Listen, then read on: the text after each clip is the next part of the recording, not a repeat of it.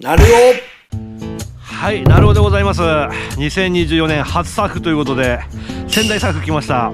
なんか今日ねあの暖かくなるということでね、えー、風もないんですよ。で今日明日と私仕事2連休で本当はね明日釣りしようかなと思ったんですけど明日なんか風強いということでね今日やる予定だったものを明日に持ってきて明日やる予定だった釣りを今日やるというような、まあ、そんな感じでございますね。はいまあ、夜とかもね良かったんですけどちょっとね寝ないでいくとさすがにねあれですしちょっと毎回ね夜行って朝帰ってくるとね鬼嫁に朝帰り方また言われるんでねはいちょっと疑われるのもあれなんで、はい、たまにはちょっと明るい時の釣りしたいなということで。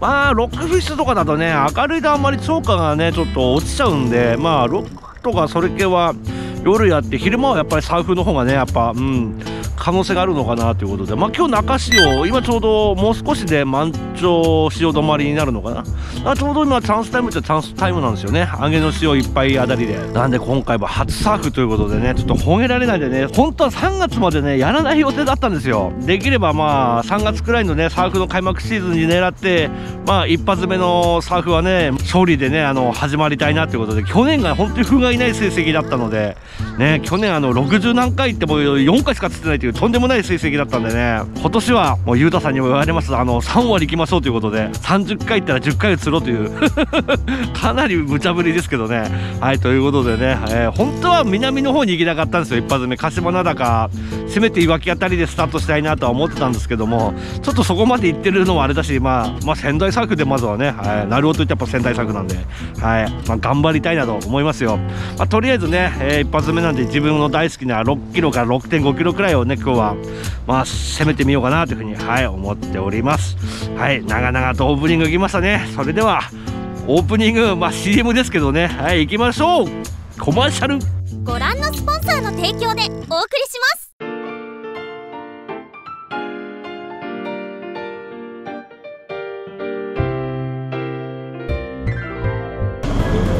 無人でも650円で作ります。おでかい。すげえ。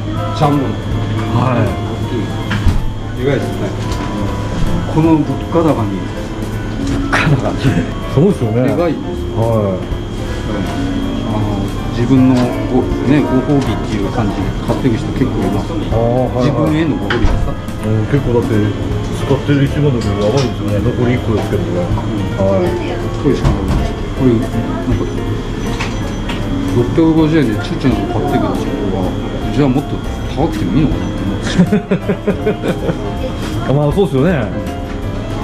買っていくっていうもうそろそろもうケーキももう4月ぐらいから値上げ考えてます。あはいはいはいはいはい。とにかくあのバターとチョコレートの値上げがえげつないですよ。ああ結構すごいです。よで見積もり書がもうずっときっぱなしで営業来ると8白い紙ああその白い紙いらない。ですでこの値上げのお知らせ。あもうこんな感じですよ、うん、半年で。こんな感じの見積もり書だけで A4 の白い紙、えマグネットでこうクリップでこうですね。ズルズルズルズル落ちてくる、ー、重みで、はい、そしたらもううちのあの生クリーム買ってる営業のやつも回りました強力な磁石買ってきます。い やそういうことじゃ。ない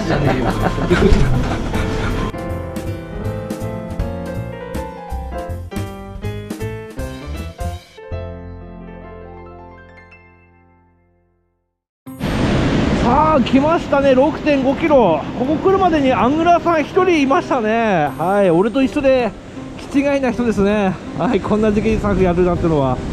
さあさあさあ気温今日は16度くらいまで上がるみたいでね。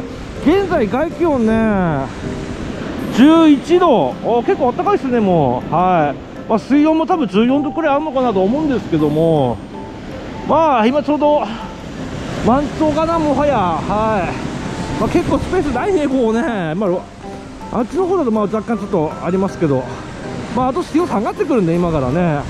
まあとりあえずちょっとまずは温度計で温度を測ってからねまあ、メタルジングがそこら辺からでちょっとスタートしたいと思います。とりあえずちょっと場所行きましょう。さあいよいよサーフということでやってまいりました。はい。やっぱこの感じだね。はい。鳴尾といえばやはりサーフでしょう。さあということでねここのとこずっとロックフィッシュばっかりだったんですけども。はい。今年初サーフ現在外気温今11度。はい。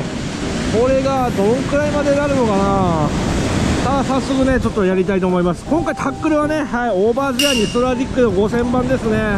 はい。まあなタックル何にしようか迷ったんですよね X2 にしようかね。はい。ちょっとね柔らかい竿で遊びたいなってのもあったんでね今回はオーバーゼアグランデをチョイスしてみました。さあ2024年初キャスト。はい。ね投げたのはまさかの温度計という。ね。えいや X2 でも良かったんだけどね。ちょっとねスイーパーライン巻き直ししたいなと思ってね。うんまあそれもあってちょっと今回はこっちのタックルにしましたけど。さあさあさあさあさあさあさあ。どうだろうね。まあこの時期って意外と外気温より海水温の方が暖かいってことありますからね。ねえ大船渡に行った時なんかだって氷点下3度で海水温まさかの12度っていうね。はい。とんでもないあの水温だったんですけど。まあ向こうでそんくらいのねあの海水温だったらこっちに多分14くらいあるかなと思うんだけどね。うん。これで16度くらいだったら俺笑うぞれ16はさすがにねえがな。いわきとか鹿島灘だったらワンチャンありえるかなと思いますけどね。まあとりあえずねなんだ今日これこっちに流されてんじゃない？これほらうん。ちょっと左に流されますね。はい。なんかこのやねあれもいいね。どっちに流されるだなんだかんだってもね。さあさあさあさあ今年はねはい。3回に1回は釣りたいなという目標。はい。ね去年ヒラメ目標10枚であっつって2枚しか釣ってませんからね。しかもヒラメってかソギしか釣ってねえけど去年。うん。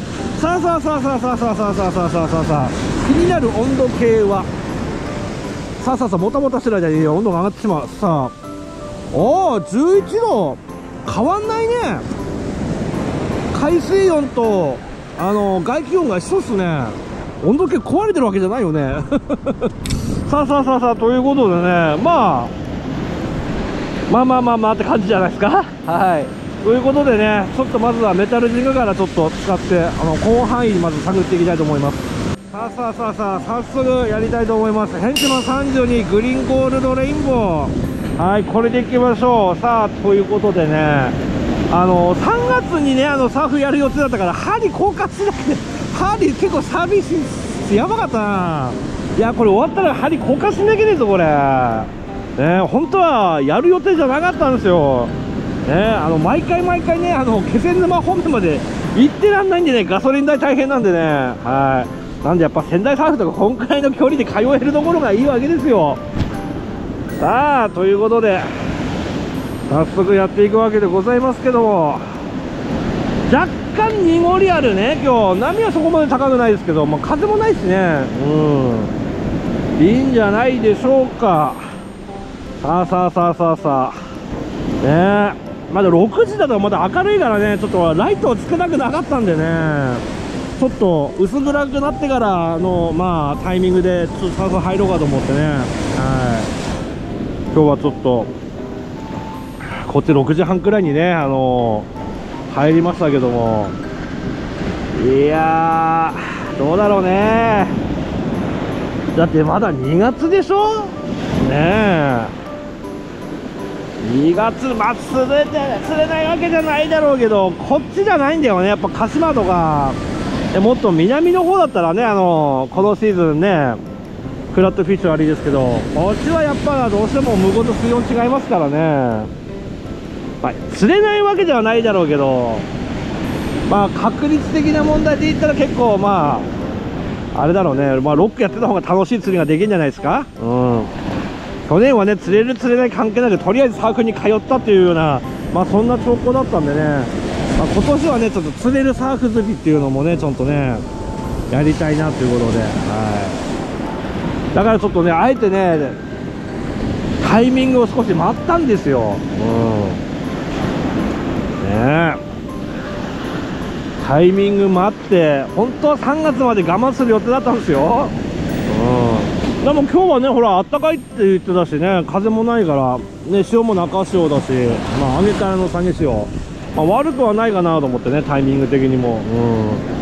あとは私のねあのー この技術で 釣れるかどうかだけど。ねいやーでもなんだろうねずっとここ最近ほら漁港とかそっちの方ばっかりだったからね。うん。やっぱこう帰ってきたって感じしますよサーフ。ね。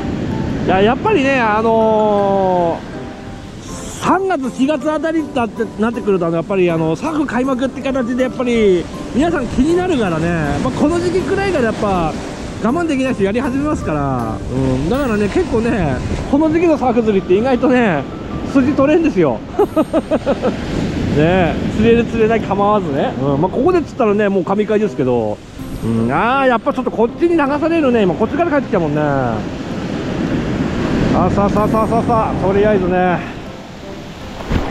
やりたいと思う。お若干気持ちこう風来てるかな、まあ、風はまあ本当にあの扇風機程度ですよ。うん。ねえ。いやー久しぶりに上田っていうものを履いたもんねでもね本当に。さあさあさあさあオーバーゼアなんか最後に使ったらいつだって話だけどね。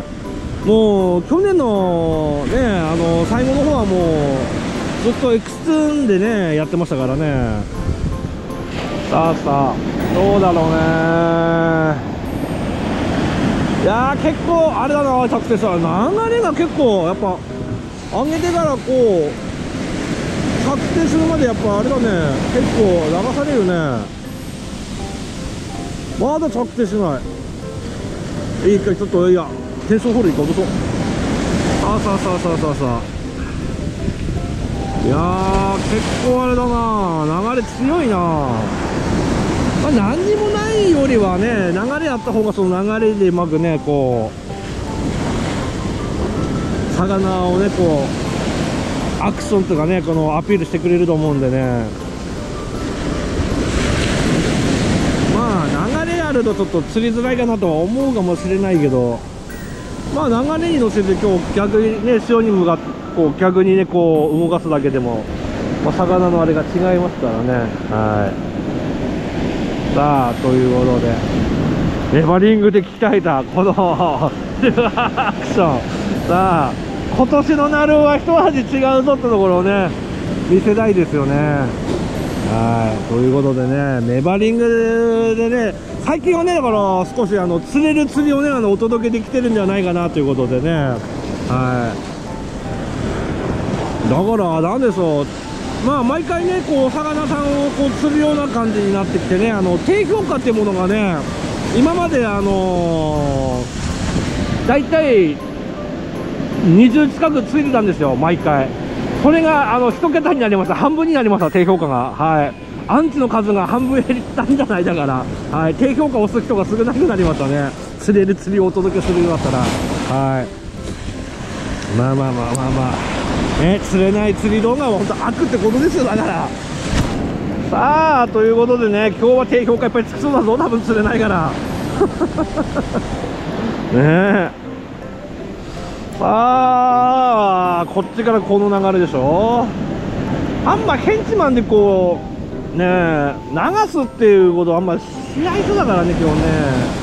流れやっときはもうワームがプラグ使っちゃいたい人だから俺結構。うん。ねえ。まあでもとりあえずね距離でうん。ちょっとまずは広範囲を探ってみて。まずボトムからねこうポンポンっていう形でちょっと今やってますけど。まああとちょっと流れあるんだったらちょっとレンジ替えで中層とまあ海面とって形でちょっとね棚を変えながらちょっと狙ってみようかなということで結構ねあのただ負けしてこういう形で動くんでヘンチマンって。はい。ああどうでしょうね。まああと流れがあるんだったらちょっとねあと離岸流のところの近くいろいろ乱岸してそうそういうとこであの流れあの弱いところって絶対出てくるんでまあそういうところを俺狙って結構ねあの潜在サーフをあの超過につなげてるっていうところも過去の実績ではあるので、はい。ね、数少ない実績ではございますけどもね。まあちょっとねそういう形で今日は立ち回っていこうかなって。おやなんだ？あんまり流されなくなったぞ。ほうほうほうほう流れる時は流れるけど今ちょっとほぼほぼ真正面で帰ってきてるな。気持ちちょっとこっち行ってるけど、うん、そんな迷子から帰ってくるの流され方じゃなくなった？なんだ？潮止まったか？これ完璧に。潮止まりになったかな？流れがちょっと落ち着いたね。うん。さあどうだろうね。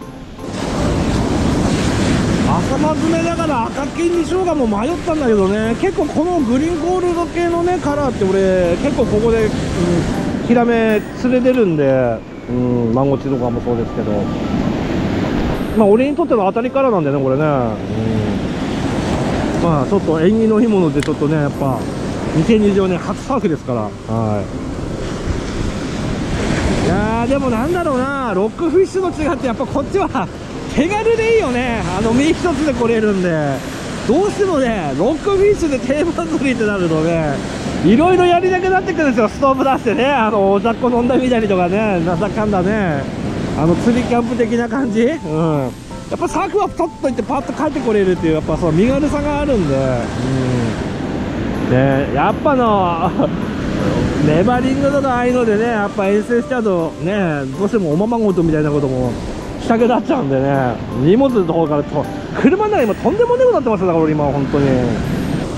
俺ちょっとあれだな。これ回収したらちょっと俺一旦あの着底しないタイプでちょっと削ってみたいかなと思います。ちょっと着水して、まあ、3秒くらいでちょっと肌巻きでちょっと削ってみましょうかね。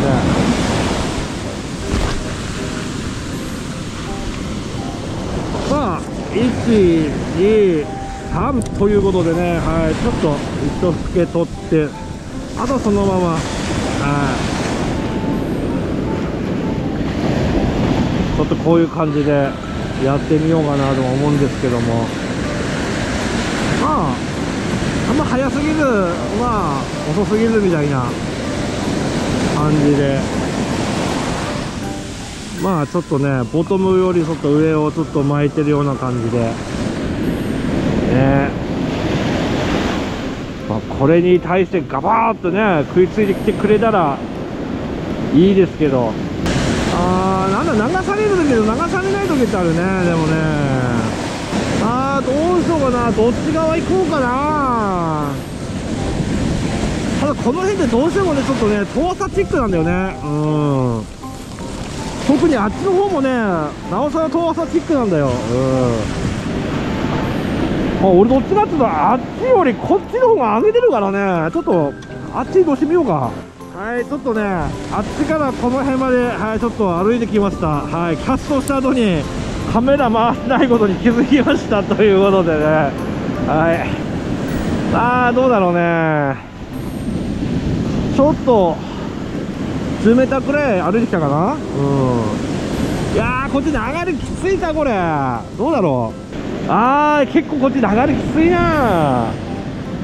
もうちょっと行くともうちょっとなんか離岸流っぽいとこあるんで、まあ、そっち行ってみてもいいかなと思うんだけどね。さあ。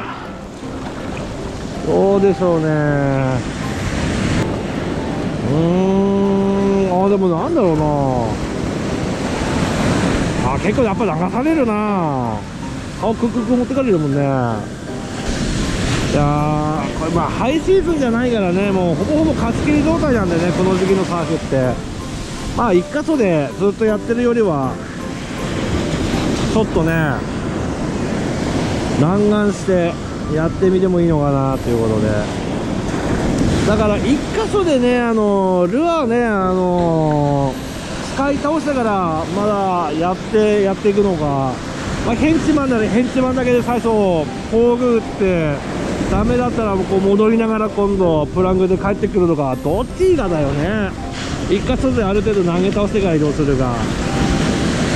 まあ、とりあえず今日はねあのヘンチマンで最初広範囲をね点々点打ってみてダメだったら今度プラングやワームでねちょっと手前狙ってみるとかまあ、そういう形でちょっとやっていこうかなと思います。だからパッとねまずはヘンチマン。まあちょっと他のメタルジムも一応持ってはきてますけど。まあとりあえずヘンチマンでスタート。まあもしあんまり反応なければカラー変えるとかまあその辺をちょっと考えますけど。ああどうだろうな。おいこれ波かこれ。ピクピクピクピクって。あ波だね。おっさん勘違いするからそれやめてほしいよね本当にね。さあさあさあさあやっぱこの辺やっぱ遠さだよな。多分6キロの方が多分掘れてる感じはするんだけどな。うん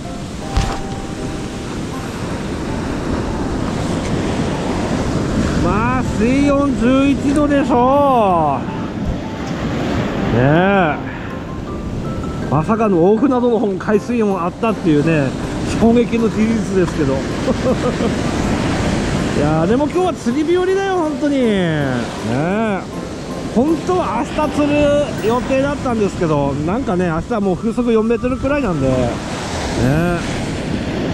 まあ風速4メートルくらい大したことないですけどね俺風速8メートルで。ね あのー、オフなどやりましたから。氷点下3度で。まあそんなのに比べたら鼻くそですよ。まあ最高風速14メートルっていうのもありますけどね。はい。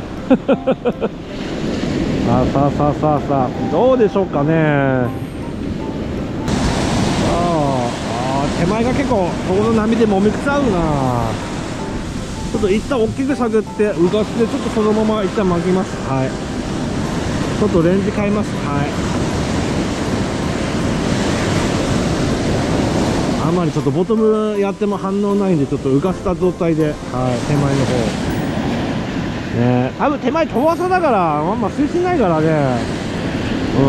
うん。浮かせてもいいと思うんだけどね。ヒラメはどっちかってあんまボトムずる引きよりはょっとレンジ取った方が多分いいでしょうからまあ巻きながら少しこうアクションを入れてはい。やってみるのもいいのかななんて思うんですけどね。いやーやっぱこっちに帰ってくんな。少しあれか？右側に投げるか？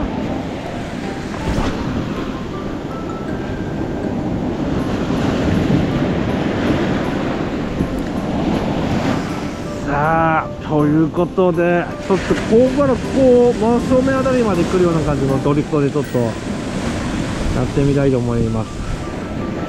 ちょっとボトムを取らないストップゴーでちょっとやってみようかな。はい。ボトムを取らないストップゴーです。はい。ああこういう形でちょっとね中層レンジをはい。やって。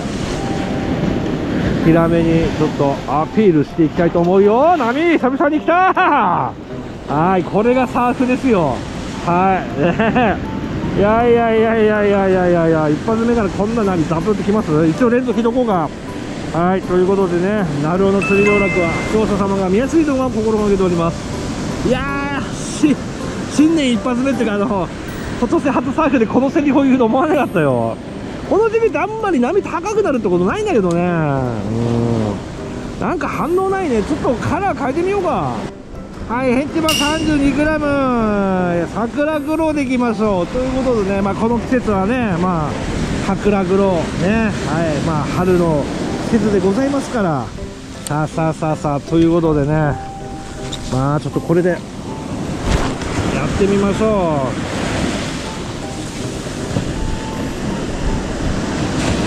まあちょっとカラーを変えてねはい。やってみたい。ああどうだろうな。カラー変えてまあ反応が出てくれればいいだろうけどね。まあサークはいるところに投げねえと食ってこねえからね本当に。いやーでも新年一発目は新年一発目で今年初サークは。勝ちで終わりたいよな。ねまあ河口の方ね阿武隈ではなんかちょっとヒラメ上がってるようですけどね。うん。新年一発目っていうかななんだいなんなんで何回も新年一発目ってやっぱ初サーフっていうくらいだから格好でスタートはしたくなかったんですよ俺の中で。やっぱサーフですよ。うん。サーフで釣ってなんぼですよ。ねえ。一発ドカーンとね。そういえばドカーンと思い出した。ドラムああドラムは結構きつだね。演出上少し緩くそっか。なんだ演出上緩くそっかって。ね。え さあ来ないかな。うーん。いやーでもなんだろうこれ。結構もう真横に行ってんだけどこれ。流れ相当強いね。いやっていうか結構暑くなってきたぞ俺いや暖かくなるとは聞いてたけどさこんなに暖かくなっちゃう？ちょっと。上着脱いでもいいくらいなんだけど。いやいやいやいやいやでもどうだろうな。上着脱げんだったら脱いだ方が。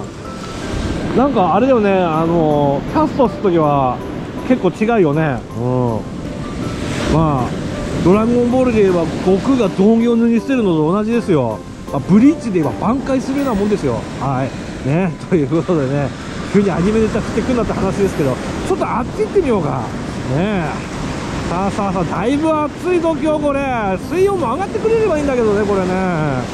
まあちょっと気向いた時にねもう一回ちょっと水温測ってみようかなと思うんですけども。さあどうだろう。初サーフ。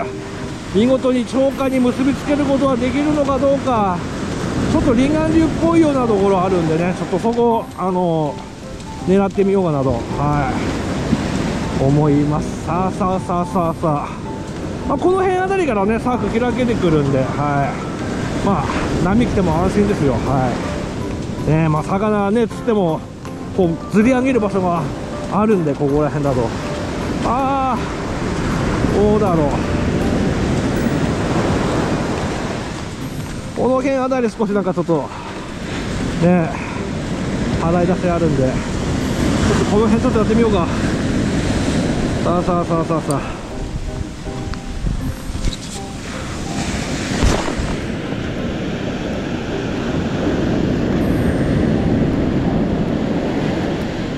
さあやりましょう流れ的にどうかだよね。もうちょっとそっち行けばリンガリっぽいのはあるんだけどちょっとリンガン流の脇の方ちょっと狙ってみたいなと。はい。さあどうだろう。流れ意外とないかな。いや結構暑くなってきた。ぞ火高くなったっけ。いやこれどうだろう。上着脱ぐとパーカーになっちゃうんだよね。うん。あ、パーカーになっても良さそうだけどねこれ。いもう暑くても上着脱ぎました。はいということでアルを挽回状態でございます。はいということでね早速ねこのオーバーゼアという名の天差残月をねはい投げていくわけでございますけども。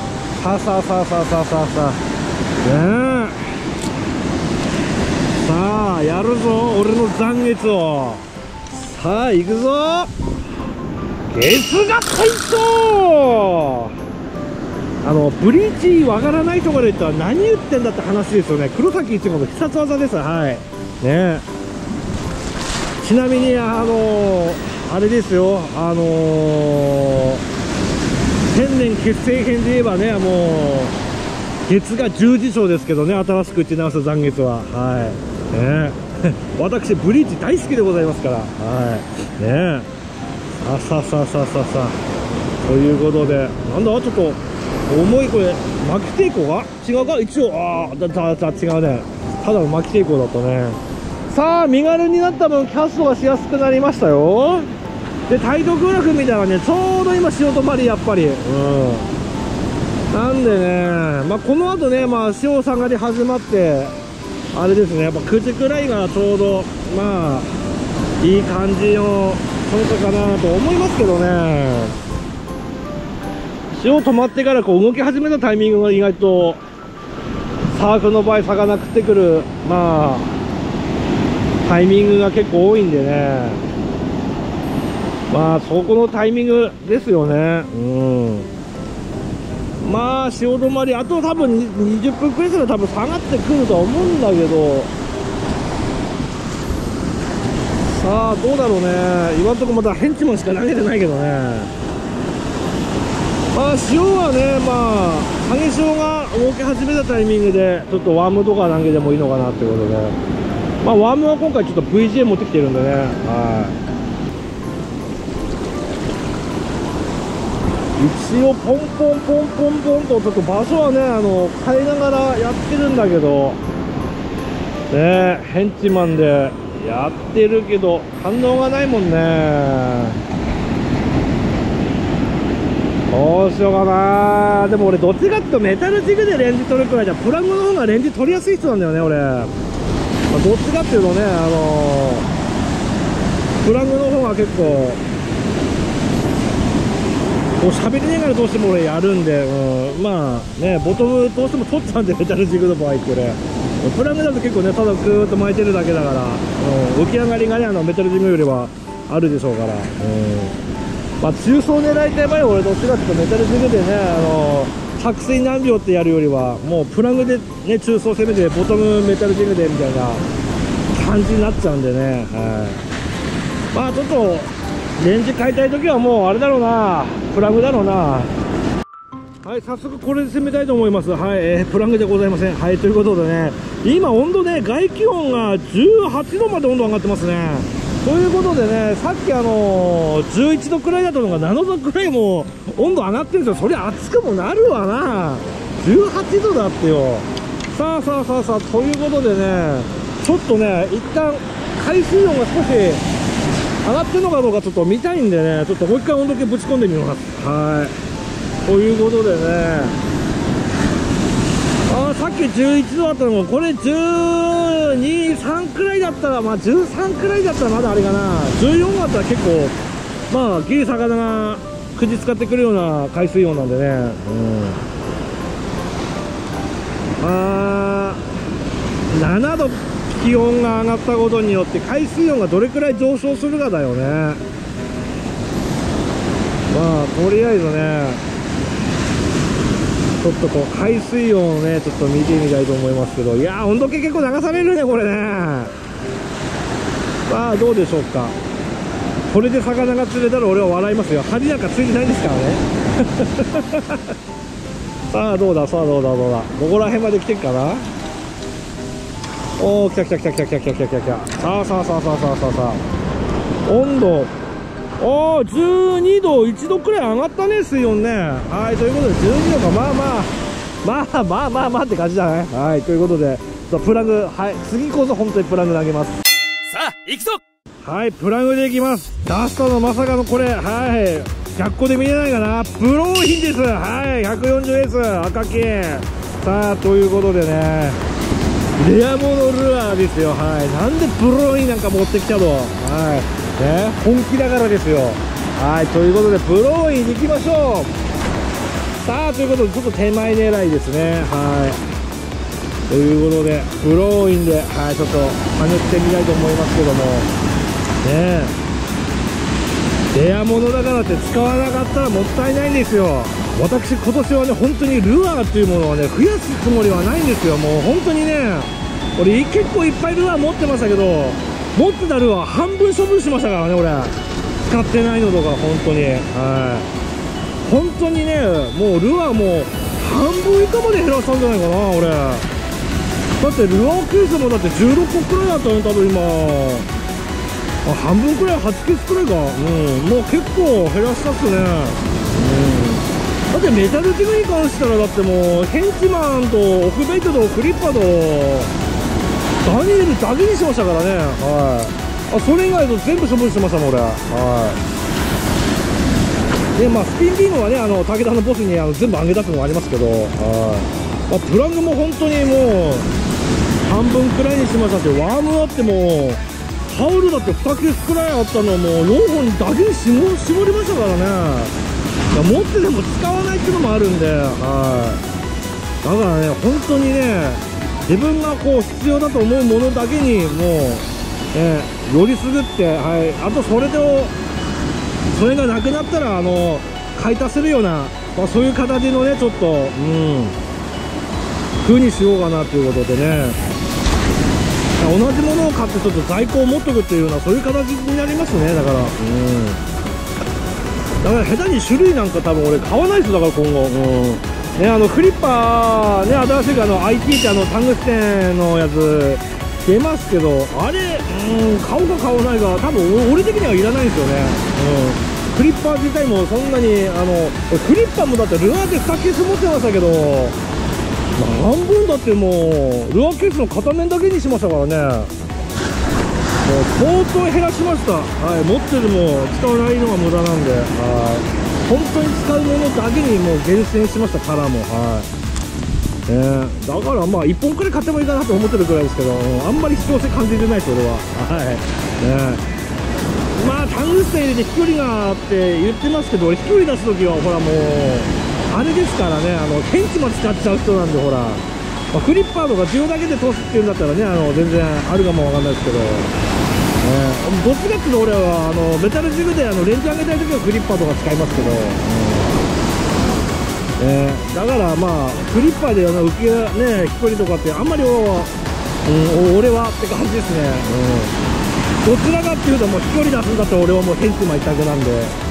だからもう余計なもうだ飛距離のヘンチマンとブルブルのダニエルと、ね、こうただ巻きでこうへあフリッパーあとは、ね、こうゆらゆら落ちるように垂直に落ちるオフベイトっていうもうその4つだけに絞りました。だからあとそこその他のメタルっていう全部売りました俺。はい、ね、結構いい金だったけど。うん。ねだからねあとなんだろうな。本当にブランドも結構薄いっすよだから本当にもう。アクションスリムも結構いっぱい持ってたけど本当に使うのは大体もう4色に限定してうん。あれ刺すもんね。だから本当にねあの無駄にね使わないものをね持ってても仕方がないと思ったんでね。うん、まあ、増やすのもいいですけどまあ本当に使うカラーをね本当にもう在庫持ってあれですよ。本当に買い足しつくようにもううん。ねした方がいいですよ。なんだなんだなんかゴミっぽってきたぞ。そうそうそうそうそう。でもやっぱ動きいいですねブロインね。とりあえず手前狙い今やってますけど。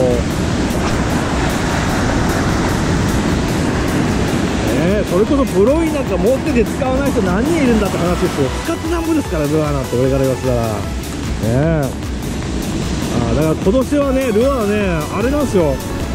あのタンスの肥やしにしないような感じにね、うん、考えてるんで。そうだからあんまだからもうルアーって買わなくなっちゃったっすよねだから俺。うん。だから結構ねあの新作ルアー出るなんだかんだって話しちゃいますけど全く興味ないです。はい。だからあのよく皆さんにねあの言われるのはあの3月にあの夢メッセであの釣りフェスみたいなのあるじゃないですか。あの全く興味ないんですよ俺。うん。あのまあ YouTube のねあのチャンネルのね広報活動的には行った方があれなんでしょうけどまあお金払って見に行くようなものでもないですよね。別にほら新しい新作買えるわけじゃないから別にねあの24ツインパワーとかねあのまあ買えるんだったらいいですけど買うくらいお金ないんで今。私あの3月うちの双子ちゃん卒業式でお金がとにかくいっぱいかかるんでそんなのなんかに金使ってらんないですよ。はい。ねだからね。うん。だからこれといって欲しいものもないから。別になんか制作興味もないし。まあうん特別にお金払ってまで見に行きないかって言えばね時間の無駄っちゃ時間の無駄なんで釣りしてた方がいいんだよそれだったら俺。うん。ね。だからね行かないんですかって結構皆さんに声かけられますけど行かないです。はい。ね、ただ山形のフィッシングフェスタはちょっとねゆうたさんと行く予定ではあります。あの日本海遠征でちょっとねうん。ちょっとその山形のフィッシングフェスタ見てから行きませんかみたいな話でまあただだしまあちょっと行ってからでもいいんじゃないみたいな感じでねちょっとはい。なんで山形のフィッシングフェスタはただなんではい。あの行きます。ただねほら別に俺もゆたさんもこれといって欲しいものもないんであのー、買い物とかするわけじゃないからあのあっちには並ばないで出店物だけ軽くまあちょっとね見てみようかなみたいな感じですか？はい。まあそこでねあのセルテートとツインパーがちょっとまあこうくるくる曲げればいいかなって俺は思ってます。はい。であとはもうこれといって何もはいあの見たいもんも何もないし俺は。はい。別に新作に興味ないんで今あるので十分なんで俺はいねまあだからまあ俺はあのあれですよ釣り具屋のね、あのタイムラインに送り回されないんですよ。え、何見るかとか全く興味ないですよ、だから。はい。あるので十分ですから。はい。ねまあ、自分がこれだと思ったから、それだけね、あの、買い揃えときゃいいだけなんで、もう、はい。新作な、新色なんかに俺は振り回されませんよ、別に。はい。ねえ。新色買ったからって通常試してないんでね。安定の土定番カラーが一番いいんですよ、なくした時にすぐ買い戻しが効くんで、うん、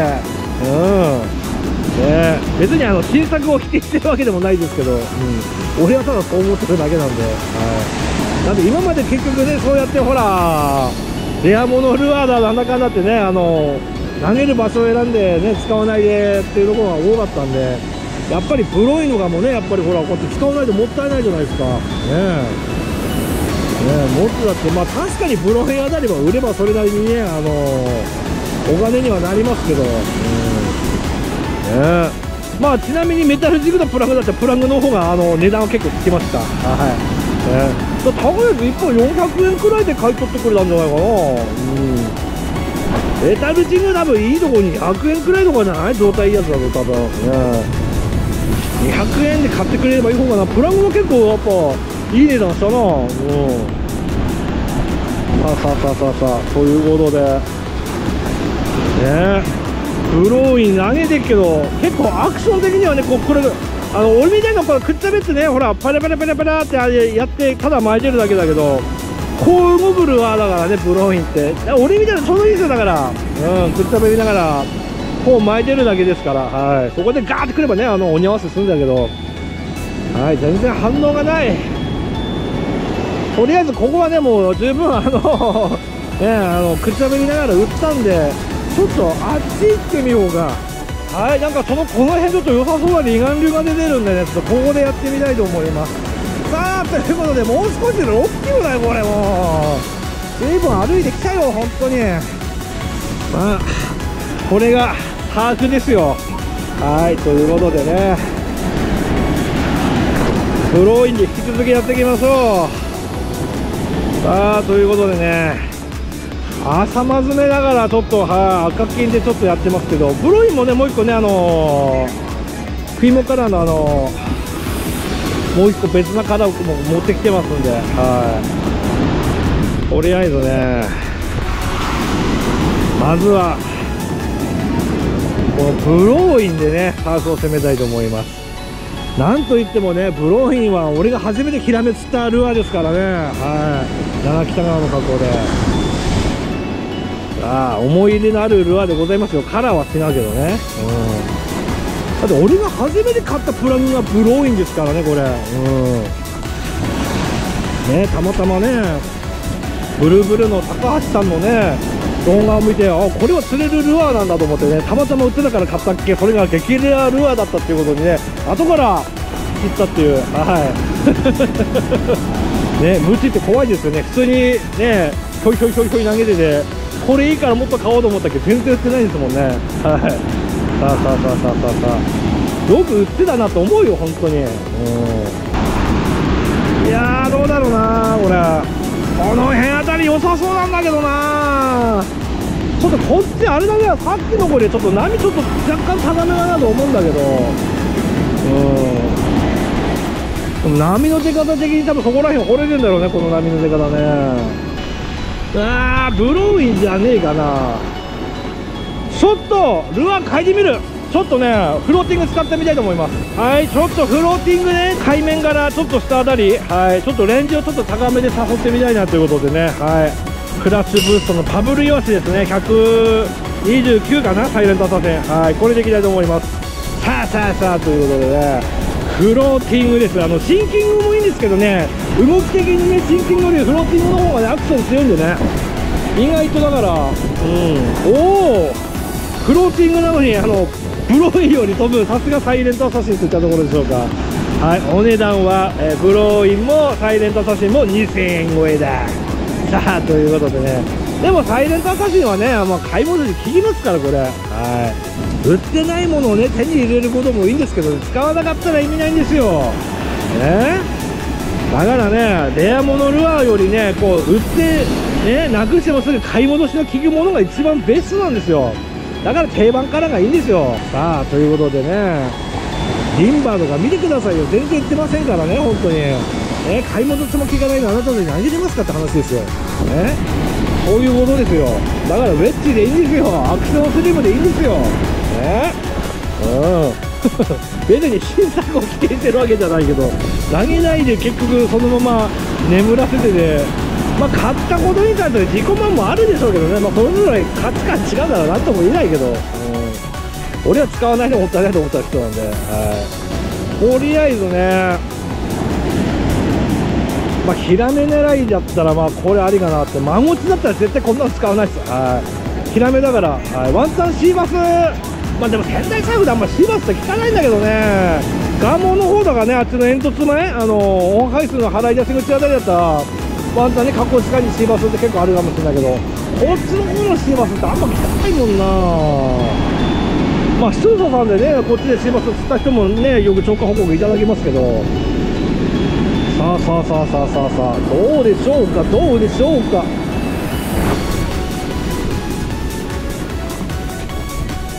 とりあえずフローティングで、はい、やってみてますけど。いやーなんだこれ風意外と出てきたな。こんなに風吹く予定じゃなかったけどまあまあまあまあでもまだ2メーター2メーターまであるのかな。ちょっと風ちょっと風向きがちょっとよろしくないもんね。こう斜めにこう来てるんですよ。だからちょっとこっちに持っていかれるような感じなんですよね。まあ、潮止まりがね、下げ入ったタイミングで流れは、うん、そこまで、ああ、でも流されるか、でも。ねちょうど雲で今、日隠れなんでね、ちょっと、うん、やりやすくはなりましたけど、どれどれ、ちょっとあっち戻ってみるか、一旦。あっちまだね、ヘンチマンですか、攻めてないんでね、ちょっと戻りながら、ちょっとフローティングで、ちょっと一旦こう落としていきたいと思います。はい、ちょっと5、6メーター歩いてきたかな？はい、ということでね、ちょっとポイントをね、少しずつ変えながら、はい、やっていきましょう。サーフはね、とりあえずね、足使って、ねもう、魚いるところをルアー通せるかだけなんですよね、本当に。それができればもう本当に俺でも魚が釣れるってことなんで。さあさあさあさあさあさあ。まあ、同じ場所でねこうずっと打つのは本当ハイシーズンで身動きが取れない時だけですよ。ね身動きが取れるんだったらもう場所はどんどんどんどん変えていった方が。はい。いいでしょう。あとだって本当これが5月6月だったら移動先とも移動できないんですから。はい。いやーでもサイレントアサシンあれだなフローティング。あと2本くらい買ってもいいかななんかカラーバリエーション的にね。うん。まあメタルジグとかでね上手い人はねこうやってあのレンジ変えながらやるんでしょうけど私レンジ変えるなんて高等技術ができないんでねもうルアー界でレンジを変えていくしかないんですよ。はいね。だからそのレンジとかのイメージがあんまりねあのー、得意じゃない人は意外とだからこういった感じでフローティング使ってみたりするのもいいんじゃないでしょうか。はい。ね、私の場合はほら喋りながらねこうやりますから黙ってやるってこと基本ないんで、えー、だからどうしてもね釣りに集中するというより喋りに集中しちゃう人なんでだからどうしてもねこうただ巻いちゃうだけが多くなっちゃうんでね、はい、だからねあれなんですよ。いつまでたっても上達しないんですよ。ね。だからね俺はだから基本レンジねこう意識するときはもうフローティング使ったりとかまあ、ルアーにこう頼る感じですよね。はい。ね。技術がなければあのもうアイテムを使ってうまくやっていくしかないんですよ。さあということで反応がねえな しかしな。まあ季節も季節。まだ2月ですからね。まあ釣れたらねえまあ本当にもうそれは多分自己的なもんだと思うけど。まあ水温12度だから魚がそこまで活性高いような温度でもないけどね。ロックフィッシュだったらちょうどいいかもわかんないけど。はい私が人生で初めてヒラメを釣ったのはこのルアーです。はいブローイン 140S リアルキッスです。フィーモからさあということでねこれでいきましょう。はいということで、サイレントアサシンよりはね多分レンチ多分低く探れると思うんで。はいちょっとまあアクションが多分サイレントアサシンよりこっちの方が多分強いでしょう。ということでねちょっとこの辺はいちょっと狙ってみたいと思います。はいファルクラムのヒラメピンクだっけかなこれ。はいということでこれでいきましょう。さあさあさあさあ。ということでね。まあちょっと140じゃでかいからね。まあおお飛ぶ飛ぶ飛ぶ飛ぶ飛ぶ。はいいい飛距離ですよ。はいね。まあコンパクトだし結構動きがねこう動くんで。はいね。さあアルクラムでやってみましょう。これも結構不足な動きするからね。俺みたいなただくっつめて巻くだけの人間にとってはまあいいルアーですよ。はい。はい。ローリングスティックの80このピンクシルバー系のはい。これでいきたいと思います。いやーこのねあの濁りの取れた状態本当だ。ったらあのねあのナチュラル系のシラスから投げたかったんだけど去年のねあのー、サーフで大曲りサーフでね手がかりでロストという悲しいねあのあれがありましたから。まあちょっと今回ちょっとヒラメ狙ってるっていうんでちょっとピンクカラーのやつではい。ね。やりたいと思います。まあフロリダカラーでも良かったんだけどね。まあちょっとまあそういうキャンディー系のやつは結構違うやつで持ってきてるんで。まあちょっとまあこういうピンク系あってもいいのかなということで。ちょっとサイズをね小さめにしてはい。ねやってみたいと思いますよ。はい。トライデント去年ヒラメを釣ったのはこのルアーだ。ということでねはい。ピンクキャンディーだったっけかこれ。はい。そうやりますよ。ということでね私がトライデントを出しました。多分ねグランデでねあのートライデントって結構ね負荷が強いんですよ。どっちかっていうとウィングビームやったら多分アホみたく飛びますこれ。はい。さあということでねトライデント。ちょっとやってみましょう。さあということで飛距離でもう広範囲。沖の方もやっぱ流れ速いんだね。手前だけ流れ強いのかなと思ってちょっと今煙突かけてみましたけど。やっぱ荻の方も流れ速いっすわ。はいウイングビームの、はい、赤金でいきましょう。さあということで飛距離は出る。リップがついてこうバタバタ動く。はい俺にとってはこう最強のプラグでございます。はい。ね一番飛距離が出せるの僕ウイングビームですから。さあさあさあさあさあ行きましょう。いや アホほど飛ぶの。やっぱウイングビームだね。カッと飛ぶねこのグランデでねやっぱりプラグで一番飛距離出すとしたらやっぱあれですよ。ウィングビームですよ。さあということでね。とりあえずまあリップついてるんで結構バタバタ動きますしあのー、リップホールをするとこういった垂直に落ちるものウィングビームってこういったらこう戻るんですよね、うん、だから結構ポールでこうやった時まあ持ち方が普通と違うんでまあそれに対してヒラメが結構、まあ、どういう風に反応してくるかですけど。ね。まあ巻くもよしね上げ下げするもいい。はい。なんでねちょっと広範囲なんていろいろアクションを入れながらちょっとね誘ってみたいと思うんですけどね。だからこれ結構リップついて結構抵抗かかるんで探す時は思いっきりがっちり上げていいと思いますこれ。はい。水中映像見るとまあ結構グワって動いてこう落とす時ねまあそういう感じなんで。まあちょこっと上げたと多分ちょっと引っ張るくらいだと思うんでね。上にこう上げるとなればやっぱそれなりにがっちり上げちゃっていいと思いますけどね。はい秘密兵器出します。薪の種。はいブラッドピンク。これでいきましょう。さあということでね。もうアピール力といったらこれですよ。さあということで。いやいやいやいやいやいやいやいや。さあこれどうでしょうね。とりあえずちょっとこれで。探ってみたいけど、まあ、流れがあるんだったらねこの流れに乗せて結構ゆらゆらさせてこうねやると。それだけでも十分アピールになるんでね。さあということでどうでしょうか？どうでしょうか？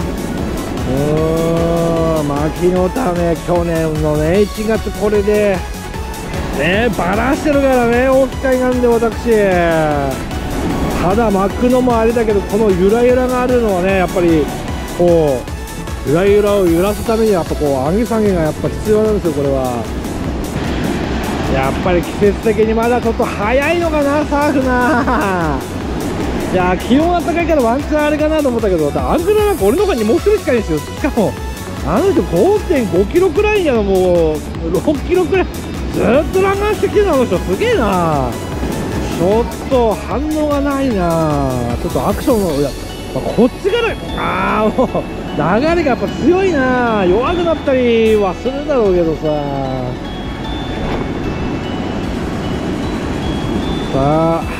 とりあえず免許センターにも行かなきゃいけねえしお腹も空いたし。まあちょっとこの後いろいろね鬼嫁に頼まれてることもいろいろあるんでね。今日は鬼嫁様が使いっ走りなんですよ。えーまあ鬼嫁様がちょっと寝てる間だけねちょっと自由時間なんで今日は。はい。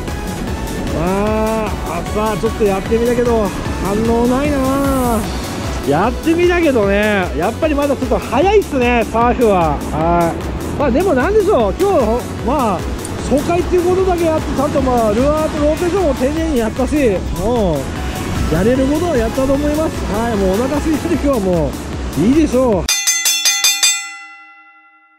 い。ということで今日ねいろいろ頑張りましたけども気温は18度くらいまで結構暖かいです今日。はいこう上着脱いだ状態でねこういう状態なんですけども。水温の方がまあ12度まで若干ちょっとサーフにしてはちょっと冷たいのかなということでやっぱ水温14度くらいまあ咲いてほしいかなというところですね。まあ16度くらいあればねまあ魚ね口使ってくるような温度なんでもうちょっとまあこっちだともうちょっと早いかなっていう。まあいわきの方とかだとこっちと大体3度くらい違うんですよ水温って。だからあっち大体15度くらい多分水温あると思うんですけど向こうとこっちでやっぱちょっと水温の差がやっぱあるんで早くて3月 ,3 月で早くてでかあやっぱ4月くらいからなのかなとちょっと思っちゃいますけどね。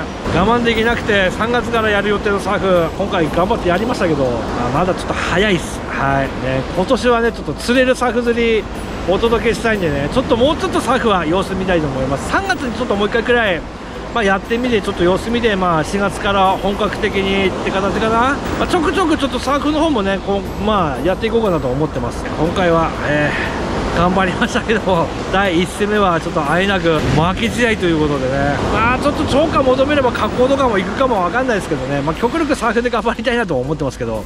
はいということでチャンネル登録よろしくお願いします。ご覧のスポンサーの提供でお送りしました。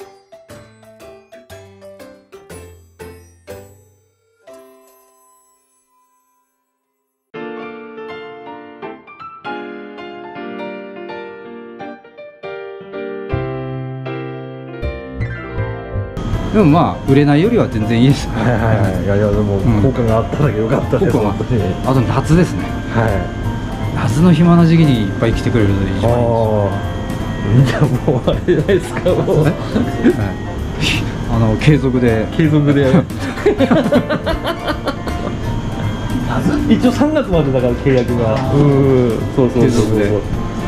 最初はほら1月までの3か月間だったんだけどサービスしてる。ババレンタインとかほらホワイトデーかなんてかじゃあもう3月までやりましょうということで今回やったんだけど、え夏があれだったんでじゃあ夏全然盛り上げますよずっとつ落ちるんではい。秘密作戦でいかないですよ わかりました。ちょっと夏はちょっとあれですんじゃあいろいろと CM ガラッと変えてあれですねちょっと夏用に夏用に。CM 作らなきゃいけないですねじゃあ。そうですね